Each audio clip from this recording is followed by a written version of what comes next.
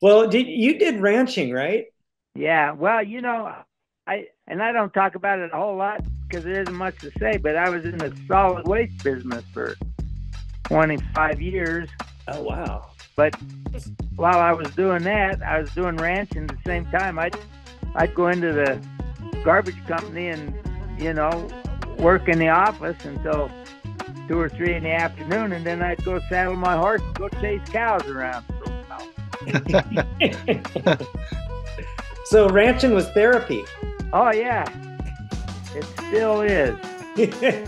you still you still do it? Yeah. Oh yeah. Good. Yeah, we we still raise cows and uh, you know put up hay. I just I love all that stuff. My daughter asked me a while back. She said, "Dad, when are you going to retire?" And I said, "When I die." right. Good answer. I like it. My dad you you say, "I'll sleep when I'm dead." well, that's the funny thing too. Everybody talks about retirement and stuff, and I'm like, I don't quite understand what you're talking about. You mean you just want to give up on everything, or, you know, I mean, I it's like it just means you shift into something else in my mind. You know, it's like if you're not doing something, you're dead. So you're always well. Yeah. I'll just say from from my perspective, retirement for me would be being able to work on the stuff that I want to work on. I would never stop working exactly. on stuff. Right. Just just not for somebody else, you know.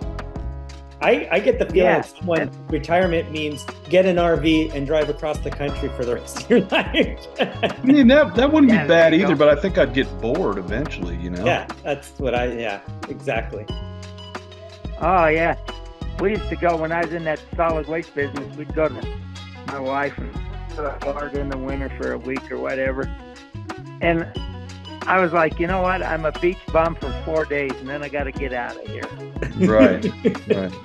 That you know, it's it's very interesting. But the one thing why I love Oregon is because I get the mountains, which is where my wife grew up, or the hills. Out here, it's hills. It's not like uh, Colorado mountains, but um, but it's so easy to go to the beach and it's not like i can kind of do either or from where i'm at. And it's like you know an hour in any direction and you can do anything. And in colorado it's the mountains and in florida you're locked on the beach. You know what i mean? So i feel like with oregon i feel like i'm lucky because i kind of get a little bit of everything. Good spot. Yeah i know it's uh, my my first wife and i we we finally gave it up because she she was from the eastern shore, and she she grew up with the water and missed the water. Yeah. And I said, well, you go live in the water. I'm gonna stay here in the hills.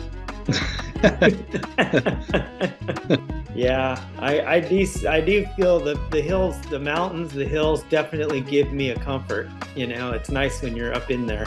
Yeah, it's I, like you got I, a cloak of safety wrapped around you. Yeah, yeah. You know, another thing, Tony, that's interesting. I mean, you live out, so it's different. But like, I lived right near Thunderbolt, right near the water tower. There's a couple homes up there. That's where where I last lived, up there. And I remember walking home from the bus because it would drop me off at Island, and I'd walk up the road to the house, and I'd look up, and I could literally see the Milky Way so clear. I could see billions of stars. I could easily see the space station moving across, moving around. And when I last went up there, I couldn't, I mean, I could see stars and I could see stuff, but it felt like there was a lot more light pollution and I couldn't quite see, it wasn't as impactful as it was as I remembered when I was a kid.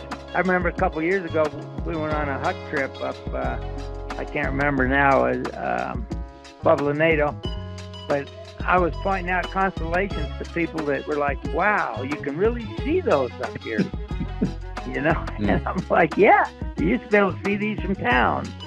That was a lot of fun growing up, just staring at the sky. You know, I remember that in high school. We, would always watch for UFOs and whatever else. You know, uh, we get a lot of that out. Oh yeah, yeah. You lay there at night, count the falling stars. Yep. I also, you know, there's a lot of interesting things too because I remember Flynn, Mike Flynn took us out, was our astronomy meteorology guy, and he'd take us outside and show us. So he'd put the books on the table and he'd say, okay, these are the plateaus. And he'd show us how they developed and how the how the the glacier deposit kind of left different plateaus and that it was all because of the different levels.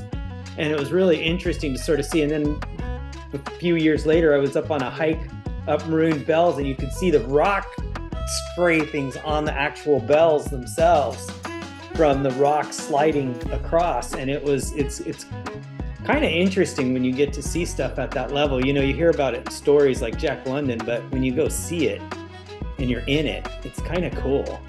Yeah, and it really helps to have a good guide like Mike Flynn. Yeah. Explain that stuff.